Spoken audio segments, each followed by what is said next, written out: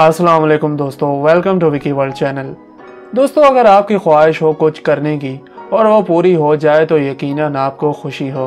लेकिन फ़र्ज़ करें, आप बबल गम चबा रहे हो और आपको कोई पकड़ कर जेल में डाल दे तो कैसा रहेगा? जी हाँ सुनने में तो काफ़ी अजीब लग रहा है कि भला बबल गम की वजह से कोई जेल में भी जा सकता है। तो ये है सच। आज मैं आप दोस्तों को बताने वाला हूँ दस ऐसे मुल्क जहाँ अजीबो गरीब चीज़ बैन है। तो करते हैं वीडियो का आगाज़, लेकिन उससे पहले इस चैनल को सब्सक्राइब कर लें और साथ मौजूद घंटी की अलामत को लाजमी दबाएँ। Number ten, video games. दोस्तों, आजकल तो जहाँ देखो, लोग गेम्स खेलते हुए दिखाई देते हैं। जैसा कि मेरा भाई, जो हर वक्त पबजी ही खेलता रहता है। यह गेम दुनिया में सबसे ज़्यादा खेले जाने वाली गेम है। यहाँ तो कोई पाबंदी नहीं। हम जब चाहें गेम्स खेलें। लेकिन जुनूबी मशरक यूरोप में वाक़ मुल्क ग्रीस इस चीज़ से है साफ़। इस मुल्क में वीडियो गेम्स सन 2002 से बैन है। यहाँ कोई वीडियो गेम्स खेलता नज़र आए तो उसे जेल में डाल दिया जाता है। चाहे आप घर में ही क्यों ना खेल रहे हो। Number nine, yellow clothing. दोस्तों, आपने पीके फ़िल्म तो देखी होगी, जिसमें आमिर खान पीला हेलमेट पहने घूमता था और पूछने पर बताता था कि येलो कलर दूर से ही दिख जाता है, इसलिए येलो हेलमेट पहना है। लेकिन दुनिया में मौजूद है एक ऐसा मुल्क जहाँ येलो क्लॉथिंग है बैन। जी हाँ मलाइशिया में आप पीले कलर के कपड़े नहीं पहन सकते, सिर्फ़ कपड़े ही नहीं, जूते, टोपी, यहाँ तक कि पीला बॉक्सर पहनना तक इलीगल है। तो अगर आप यहाँ जाने का सोच रहे हैं तो येलो कलर से थोड़ा दूर ही रहिएगा। Number eight naming a child दोस्तों, आपके यहाँ अगर किसी बच्चे की पैदाइश हो तो आप कई रिश्तेदारों से, दोस्तों से, या खुद ही एक अच्छा सा नाम, जो कि कुरान पाक से हो, वो रख देंगे। लेकिन डेनमार्क ऐसा मुल्क है, जहाँ बच्चे का नाम अपनी मर्ज़ी से नहीं रख सकते। डेनमार्क गवर्नमेंट के मुताबिक, यहाँ मौजूद है एक लिस्ट, जिसमें है चौबीस हज़ार नाम। इनमें से ही चूज़ करके आपको अपने बच्चे का नाम रखना होता है। और अगर आप इससे हटकर नाम रखना चाहें तो आपको गवर्नमेंट की तरफ़ से मंजूरी लेनी होगी। नंबर सेवन बेबी वॉकर दोस्तों, यकीनन आप इसमें बैठे होंगे और अपने आप को चलने के काबिल समझकर इसे गाड़ी की तरह दौड़ाते होंगे। और एक दिन ऐसा आता है कि आप बगैर इस सहारे के चलना सीख जाते हैं। ये तकरीबन हर घर में ही होता है, जहाँ नन्हे मुन्ने बच्चे हों।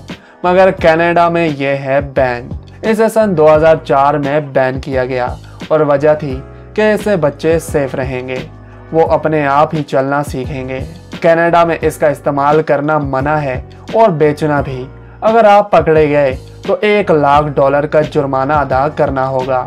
Number six, western hair cuts दोस्तों, ये मुल्क है ईरान, जहाँ मगरबी कई चीज़ें हैं बैन, जैसे मगरबी म्यूज़िक स्किनी जीन्स पालतू बिल्लियाँ, कुत्ते और टैटूज लेकिन अजीब तरीन चीज़ है हेयर कट जी हाँ यहाँ मगरबी हेयर कट्स बैन हैं, जैसा कि स्पाइक्ड हेयर मोलेट्स और पोनी टेल्स वगैरह।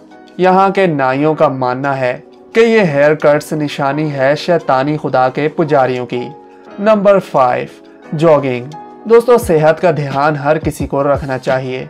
और बेहतर ज़िंदगी और मोटापे जैसे बीमारी को दूर रखने के लिए लोग सुबह उठकर जॉगिंग करना पसंद करते हैं। लेकिन बुरुंदी नामी मुल्क में मॉर्निंग जॉगिंग है बैन। और आपको हैरानगी होगी कि यहाँ का प्रेसिडेंट खुद एक स्पोर्ट्समैन एक फुटबॉलर है। इसके बावजूद उसकी तरफ़ से इस मुल्क में मॉर्निंग जॉगिंग को इलीगल करार दिया गया है। उसका कहना है कि मॉर्निंग जॉगिंग एक अलामत है जंग के आगाज़ की। ये काफ़ी अजीब सी बात है। नंबर फोर कैचअप दोस्तों कैचअप किसे नहीं पसंद? बहुत कम लोग होंगे जो इसके टेस्ट से महरूम होंगे। लेकिन फ्रांस के स्कूल में ये बैन है। आपको ये आम नहीं मिलता। वैसे तो हम यहाँ जब चाहें कैचअप ले लें, मगर फ्रांस में ये डिश के साथ लिमिटेड ही दिया जाता है। नंबर थ्री ब्लू जीन्स दोस्तों, आप में से बहुत सारे लोग जीन्स पहनते होंगे, लेकिन जिस मुल्क में है ब्लू जीन्स बैन वो है नॉर्थ कोरिया वैसे तो यहाँ तकरीबन हर चीज़ ही बैन है।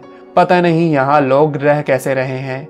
इस मुल्क में टीवी देखना, अपनी राय का इजहार करना म्यूज़िक सुनना, किसी मज़हब को मानना पब्लिक प्लेस में हंसना, यहाँ तक कि यहाँ आप नॉर्थ कोरिया को नॉर्थ कोरिया भी नहीं कह सकते।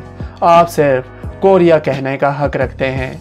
अगर ऐसा नहीं तो आपको जेल की सलाखों के पीछे डाल दिया जाएगा। Number two, small breast pornography. दोस्तों, ये बेहुदा चीज़ बहुत मुल्कों में लीगल है, जैसा कि ऑस्ट्रेलिया में। ऑस्ट्रेलिया में कोई अगर पॉन एक्टर या एक्ट्रेस बनना चाहती है तो उसे कोई रोक नहीं सकता। ये यहाँ कोई जुर्म नहीं है। जुर्म ये है कि यहाँ स्मॉल ब्रेस्ट वाली खातून पोर्नोग्राफी में काम नहीं कर सकती। ये इस मुल्क में बैन है।